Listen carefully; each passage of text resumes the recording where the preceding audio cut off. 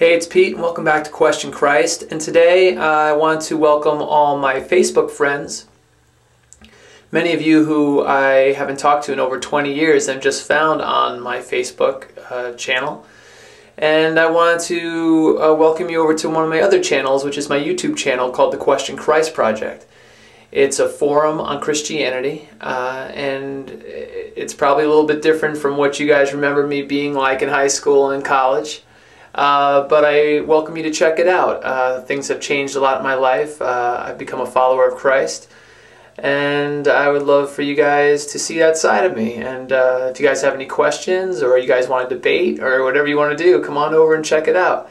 Uh, things are a little bit different these days, but things are good. And I didn't want to leave all you guys out of the discussion, so check it out.